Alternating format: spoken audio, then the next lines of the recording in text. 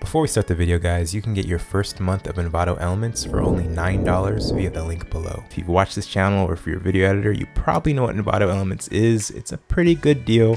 Check it out. Every subscription helps the channel.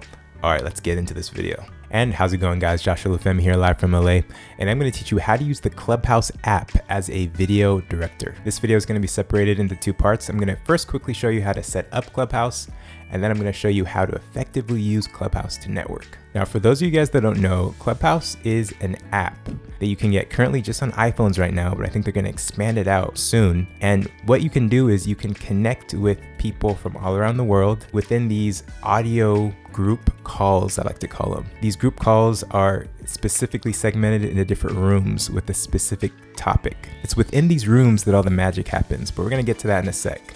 First, how to set up your profile in Clubhouse. First things first, you have to choose your name and also choose your alias. Remember, you can only change this once, so make sure you choose it wisely. Right now, my name is Olufemi and my alias is Josh Olufemi. Next, it's time to fill out your profile description. Now, this is where it's important to realize that you cannot hold back. State all of your accomplishments. Don't hold back on any accolades. It's different than Instagram where in your profile description you want to keep it, you know, short, pithy, witty. It's completely different because in Clubhouse, your description section is basically like a newspaper basically that whenever you're talking in a room um, it gives people an ability to actually get to know more about you. So usually when people are talking in a room, um, everyone in the room is probably clicking on their profile and then just scrolling. And it's kind of like cool reading the profile as the person's talking. You want to give people enough to actually read and convince them finally to actually click that follow. You guys may have to just trust me on this one as far as how Clubhouse culture and etiquette goes. There's nothing more boring clicking on someone's profile and there's like nothing there.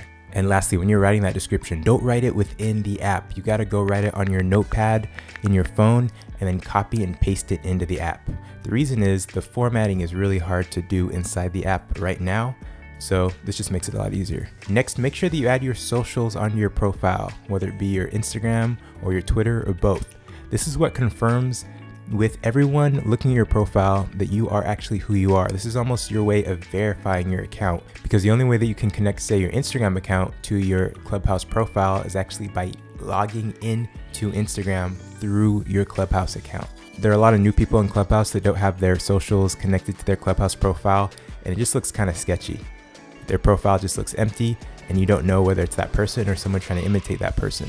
Also, the cool thing about having your socials integrated with your Clubhouse profile is when people scroll down your profile and decide to follow you, they can also click on your social media profiles and follow you as well. Next, make sure that you allow Clubhouse to add all of the contacts on your cell phone.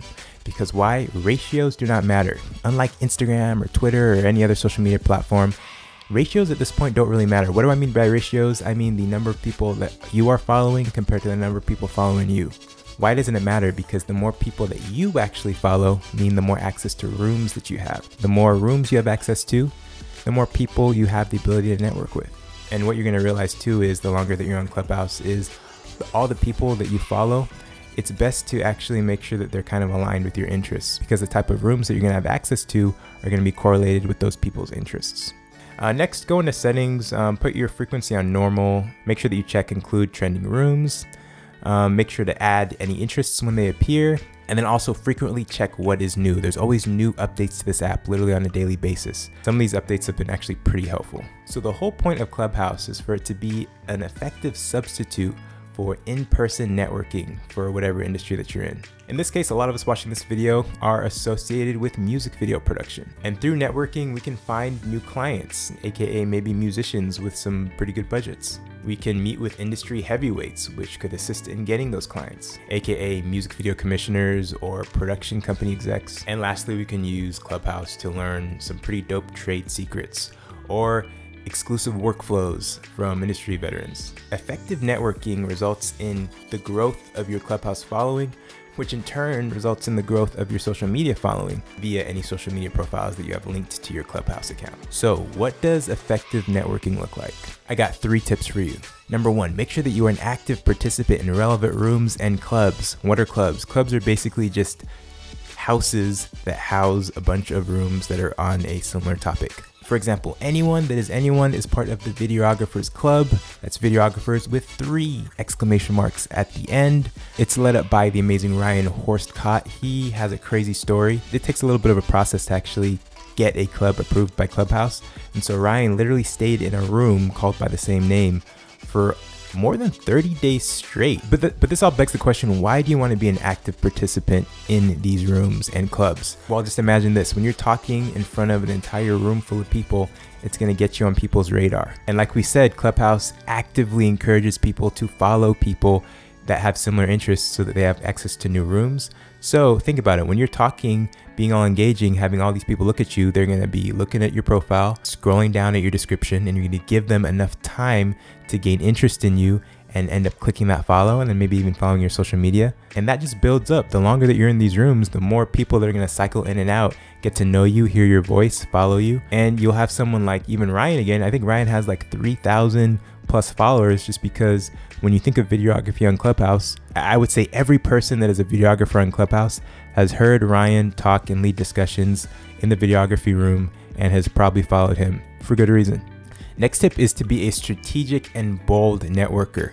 If you see someone that you've idolized and that you've liked their work and they happen to be on Clubhouse, which check this out, there are so many people that are on Clubhouse right now that I'm sure you've been watching their content for years, especially if you're in the, the video production space. Shout them out. Say, hey bro, hey sis, you're amazing.